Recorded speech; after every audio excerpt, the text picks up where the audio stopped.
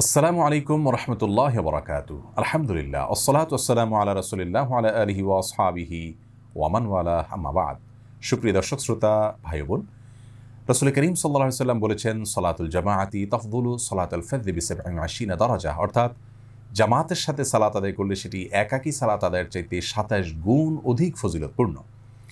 এহাদিসের ভিত্তিতে অনেক মা বোন আমাদের কাছে প্রায় প্রশ্ন রাখেন যে একজন পুরুষ তিনি মসজিদে গিয়ে জামাতের সাথে সালাত আদায় করে সাতাশ গুণ সওয়াবের অধিকারী হচ্ছেন একাকী সালাত আদায়কারী ব্যক্তির চাইতে। একজন নারী তিনি শুধুমাত্র নারী হিসাবে সৃষ্টি হওয়ার কারণে বাসায় একাকী তাকে সালাত আদায় করতে হয়, তিনি জামাতে সামিল হতে পারেন না। সেক্ষেত্রে তিনি সাতাশ গুণ ফজিলত থেকে যে বঞ্চিত হচ্ছেন, এক্ষেত্রে তার করণীয় কী?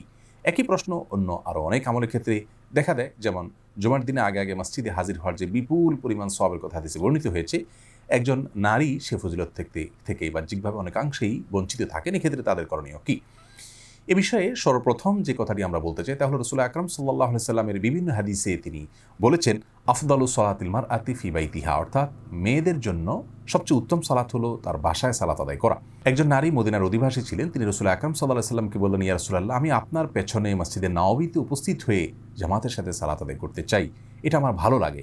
নবীজি সাল্লাহ সাল্লাম তখন তাকে বলেছিলেন যে, আমার পেছনে সালাত আদায় করার চাইতে তোমার বাসায় সালাত আদায় করা উত্তম এবং বাসার যত অভ্যন্তরে, যত ভেতরে গিয়ে তুমি সালাত আদায় করবে, সেটি তোমার জন্য আরও বেশি উত্তম হবে।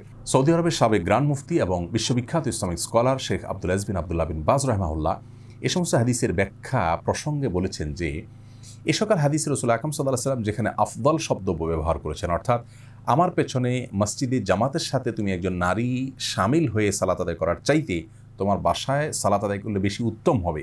এখানে বিসাল্লাহ আসলাম যে বেশি উত্তম হবে বলেছেন, এর মানে হলো সবের দিক থেকে সাতাশ গুণের সমপরিমাণ কিংবা তার চাইতেও বেশি উত্তম হবে এই কারণে যে তুমি আল্লাহ এবং তার রসুল সাল্লাহ সাল্লামের সিদ্ধান্তকে মেনেছ এবং তুমি তোমার বাসায় সালাত আদায় করেছ।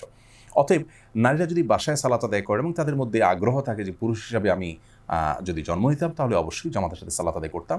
আল্লাহ রব্বুল আলমিন তাদেরকে বাসায় বসে একাকি সালাত আদায় করলেও সাতাশ গুণ যে সব পুরুষা লাভ করছেন, সেটি তাদেরকেও দান করবেন। দ্বিতীয় কথা হলো যে সৈ মুসলিম বর্ণিত হয়েছে, রসুল আকাম সাল্লাহ সাল্লাম বলেছেন মান্দাল্লাহ আলা খাইরিন ফালাহু মিসলু আজরিফা আইরিহি যে ব্যক্তি কোনো ভালো কাজের পথ মানুষকে দেখাবে, আল্লাহ রব্বুল আলমিন ওই ভালো কাজ সম্পাদনকারী ব্যক্তির অনুরূপ স্বভাব তাকেও দান করবেন। অতএব মা বোনরা তাদের বাসায় যে সমস্ত পুরুষরা থাকেন স্বামী, বাবা, ছেলে বা ভাই, তাদেরকে যদি মসজিদে জামাতে উপস্থিত হওয়ার জন্য, সামিল হওয়ার জন্য সহযোগিতা করেন, ডেকে দেন, স্মরণ করিয়ে দেন, তাগিদ দেন, তাহলে ইনশাআল্লাহ ভালো কাজের পথ দেখাবার মাধ্যমে তারাও একই পরিমাণ কাজের সওয়াব, অর্থাৎ সাতাশ গুণ সওয়াব তারা লাভ করতে পারেন।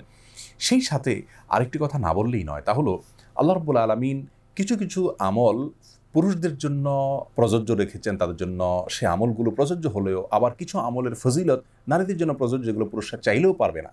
যেমন কোন নারী যদি সন্তান প্রসব করতে গিয়ে মৃত্যুবরণ করেন, তাহলে তার জন্য শাহাদাতের মর্যাদার কথা বলা হয়েছে। কোন নারী যদি হজ করেন, তাহলে নারীদের হজ জেহাদের সমতুল্য বলা হয়েছে, কিন্তু পুরুষদের জন্য সেটি বলা হয়নি। এই জন্য কিছু কিছু ফজিলত আছে যেগুলো পুরুষদের জন্য, কিছু কিছু ফজিলত আছে যেগুলো মেয়েদের জন্য। অতএব এই সমস্ত ফজিলতগুলো আমরা অর্জন না করতে পারার যে কষ্ট, সেটি আমাদের লাগাটা অস্বাভাবিক নয়, কিন্তু এটার জন্য খুব বেশি ব্যাকুল হওয়া আমাদের উচিত নয়।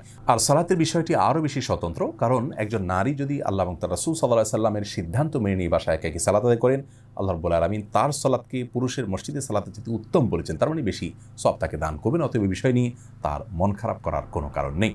আর মেয়েদের মসজিদে উপস্থিত হওয়ার বিষয়টি প্রসঙ্গত চলে আসে সাধারণ অবস্থায় মেয়েরা মসজিদে না এসে বাসায় সালাত আদায় করা উত্তম। এ বিষয়টি সন্দেহের ঊর্ধ্বে এবং এ বিষয়ে পৃথিবীর কোনো স্কলার কোনো দ্বিমত নেই। তবে মসজিদে কোনো দিনই বিশেষ প্রোগ্রামে উপস্থিত হওয়া এবং তারা যখন বাজারে যাবেন, ডাক্তার দেখাতে যাবেন বা বাইরে থাকবেন, তখন তারা মসজিদে হাজির হয়ে সালাত আদায় করা, এটি তার জন্য জায়েজ বরং করা উচিত। এ বিষয়ে কোনো স্কলারের কোনো প্রকার দ্বিমত নেই। অতএব পাবলিক প্লেসে বা রাস্তার আশেপাশে যে সমস্ত মসজিদগুলো রয়েছে, সেগুলোতে নারীদের জন্য ছোট্ট পরিসরে হলেও সালাতের আয়োজন অবশ্যই থাকা উচিত, সেটি সম্পূর্ণ ভিন্ন বিষয়। আল্লাহ রব্বুল আমাদের সকলকে নেক কাজে একে অন্যের সঙ্গে প্রতিযোগিতায় অবতীর্ণ হওয়ার তৌফিক দান করুন। আসসালামু আলাইকুম রহমতুল্লাহি অবরাকাতু